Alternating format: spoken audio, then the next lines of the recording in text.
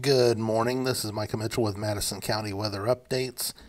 And coming at you at about 8:45 a.m. this morning.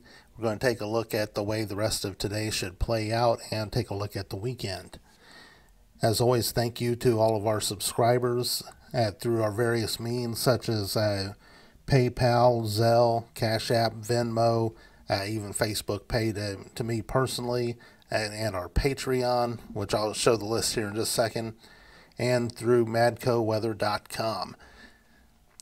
I also want to thank our sponsors, Community Hospital, Madison County Federal Credit Union, Joy Mitchell, Scentsy Independent Consultant, Jeff Waitman Realty Group, Care Plus Home Health Care, and Uranus Fudge of Indiana.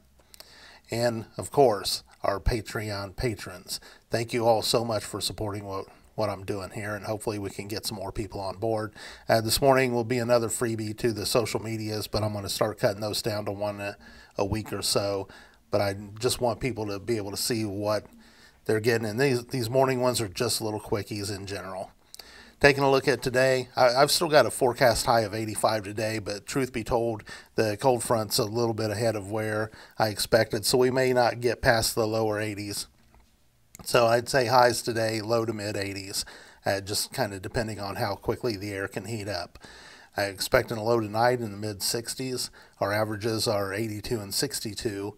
Our records for today is 96 degrees as a high in 1953 and 46 as a low in 1958. Sunrise this morning was at 7:02. Sunset tonight will be at 8:30. Here's a look at our weekend forecast. We're uh, I've kind of got these out of sequence, but uh, we'll go ahead and take a look at the weekend ahead. Again, the clouds and fog are in the process of breaking this morning and we expect some very isolated storms today, but most of that activity should be to the south. Same way tomorrow. Can't rule out a pop up, but most of the activity should be to our south.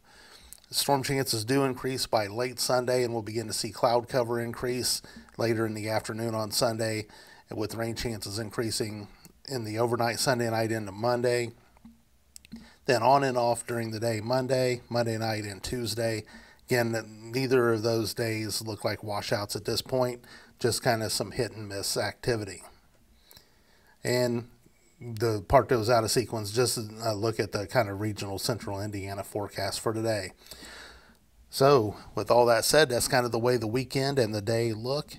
Again, if you're not a subscriber and you're seeing this, you're going to be getting, I'm going to be improving these things. I'm going to do try to do these uh, quick little three, maybe four minute hits in the mornings and then do uh, more extensive uh, forecast videos later in the day.